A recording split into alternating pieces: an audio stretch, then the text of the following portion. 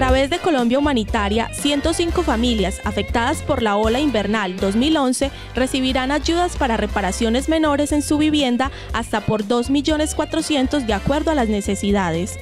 100 días de gobierno. De gobierno. Unidos construyendo es San Carlos que queremos. María Patricia, nuestra alcaldesa.